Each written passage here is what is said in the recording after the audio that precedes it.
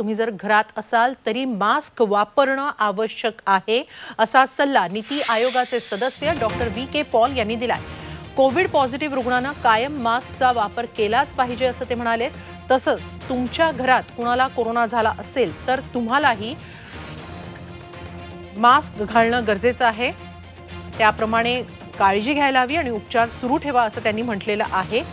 तर पॅनिक होऊन अनेकांनी ऑक्सिजन आणि रेमडेसिवीरचा साठा केल्यामुळे टंचाई निर्माण झाल्याचं आरोग्य खात्याचे सहसचिव लव अग्रवाल यांनी म्हटलंय.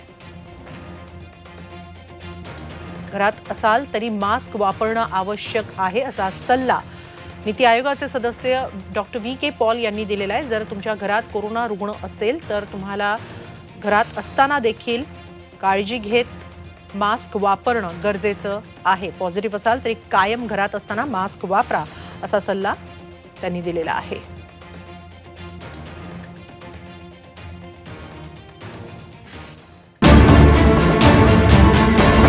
बातमी मागची बातमी. म्हणजे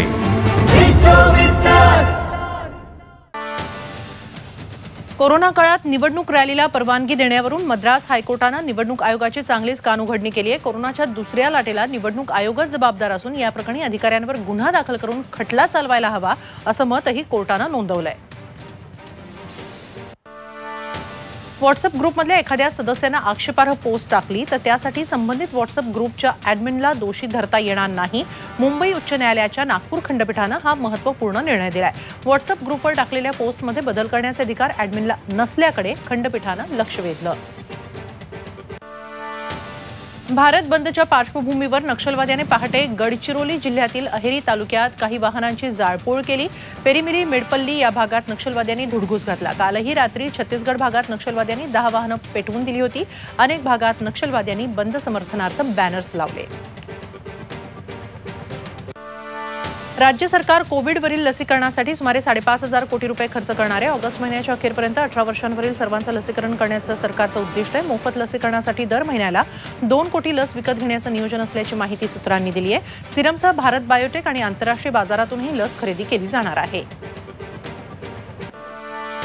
साताऱ्यातील जिल्हा कोविड रुग्णालयाच्या बाहेरच एका पंचावन्न वर्षीय महिलेचा उपचाराविना मृत्यू झाला. बराच वेळ थांबून देखील व्हेंटिलेटर बेड न मिळाल्यानं या महिलेचा रुग्णवाहिकेतच मृत्यू झाला असा आरोप नातेवाईकांनी केला आहे सध्या सातारा जिल्ह्यात उपलब्ध सर्व अठ्ठेचाळीस बेड फुल असल्यानं गंभीर रुग्णांना देखील व्हेंटिलेटर आणि ऑक्सिजन बेड मिळणं मुश्किल झालं आहे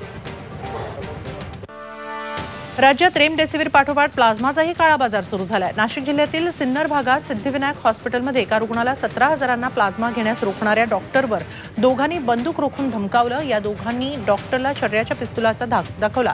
सिन्नर पोलिसांनी दोन्ही आरोपींना अटक केली आहे. केरळमधील तिरुअनंतपुरम मधल्या एका जोडप्यानं अल्लापुझा मेडिकल कॉलेजमधील कोरोना वॉर्डातच लग्नगाठ बांधली. लग्नाच्या काही दिवस आधीच नवरदेवाला कोरोनाची लागण झाली. त्यामुळे लग्नासाठी नवरी पीपी किट घालून कोरोना वॉर्डात पोहोचली आणि तिथेच एकमेकांना हार घालून दोघांनी लग्न केलं. कोरोनाचे सर्व प्रोटोकॉल पाळत कोरोना वॉर्डात हे लग्न पार पडलं.